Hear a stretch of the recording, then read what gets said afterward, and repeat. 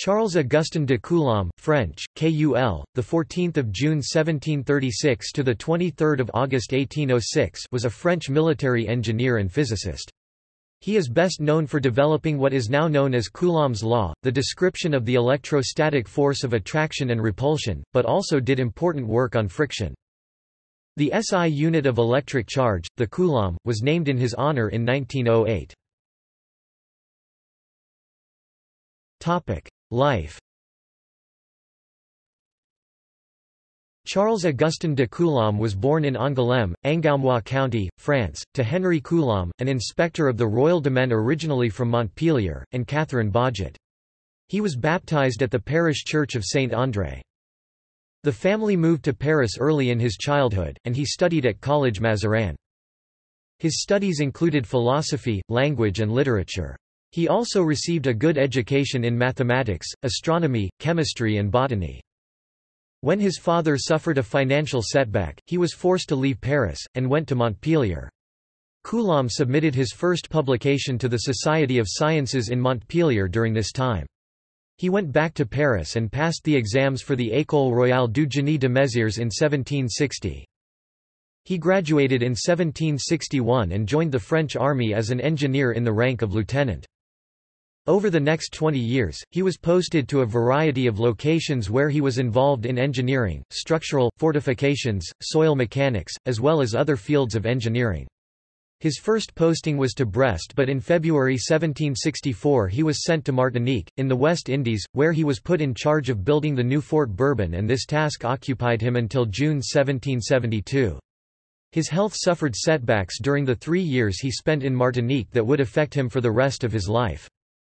On his return to France, Coulomb was sent to Bouchain.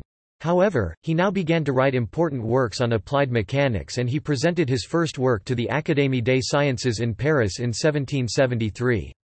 In 1779 Coulomb was sent to Rochefort to collaborate with the Marquis de Montalembert in constructing a fort made entirely from wood near Ile-d'Aix. During his period at Rochefort, Coulomb carried on his research into mechanics, in particular using the shipyards in Rochefort as laboratories for his experiments.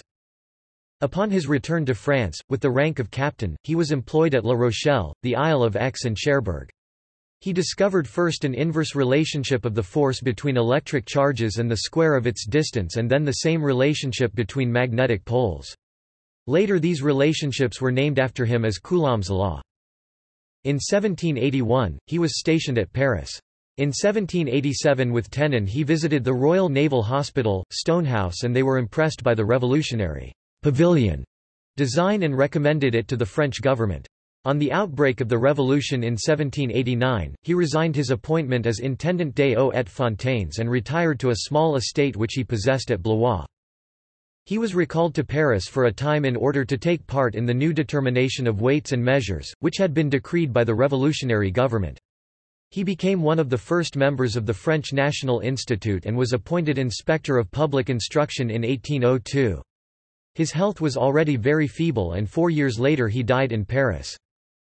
Coulomb leaves a legacy as a pioneer in the field of geotechnical engineering for his contribution to retaining wall design. His name is one of the 72 names inscribed on the Eiffel Tower. Research In 1784, his memoir Recherches théoriques et expérimentales sur la force de torsion et sur l'élasticité des fils de métal Theoretical Research and Experimentation on Torsion and the Elasticity of Metal Wire appeared. This memoir contained the results of Coulomb's experiments on the torsional force for metal wires, specifically within a torsion balance. His general result is the moment of the torque is, for wires of the same metal, proportional to the torsional angle, the fourth power of the diameter and the inverse of the length of the wire. In 1785, Coulomb presented his first three reports on electricity and magnetism. Premier mémoire sur l'électricité et le magnétisme.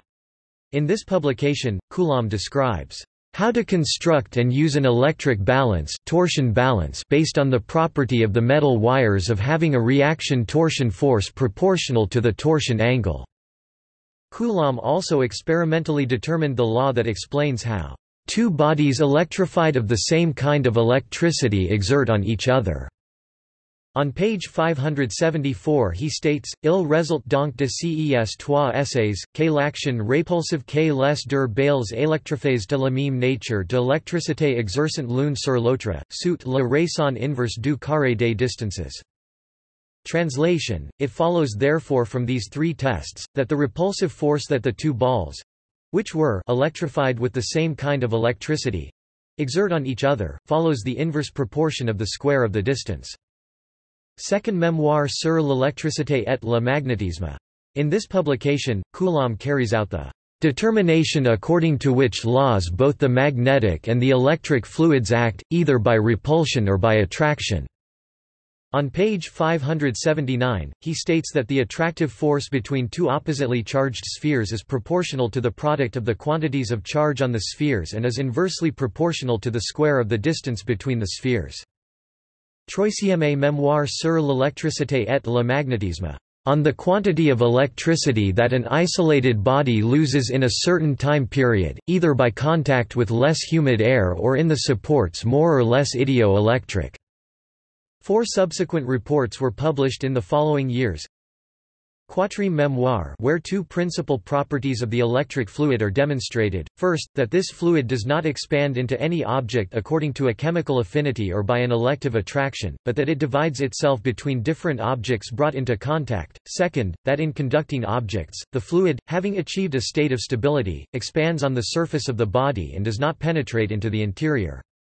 1786 Cinquième memoir on the manner in which the electric fluid divides itself between conducting objects brought into contact and the distribution of this fluid on the different parts of the surface of this object." 1787 Sixième Memoir. Continuation of research into the distribution of the electric fluid between several conductors. Determination of electric density at different points on the surface of these bodies. 1788 Septième Memoir, On Magnetism, 1789 Coulomb explained the laws of attraction and repulsion between electric charges and magnetic poles, although he did not find any relationship between the two phenomena. He thought that the attraction and repulsion were due to different kinds of fluids. See also List of things named after Charles Coulomb References This article incorporates text from a publication now in the public domain, Chisholm, Hugh, ed. 1911. Coulomb, Charles Augustin. Encyclopædia Britannica, 7 11th ed. Cambridge University Press. External links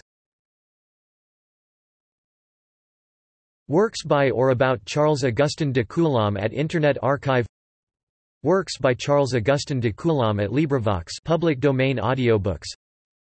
Théorie des machines simples 1821 Collection de mémoires relatifs à la physique 1884 French National Library The Memoirs of Coulomb available in PDF format.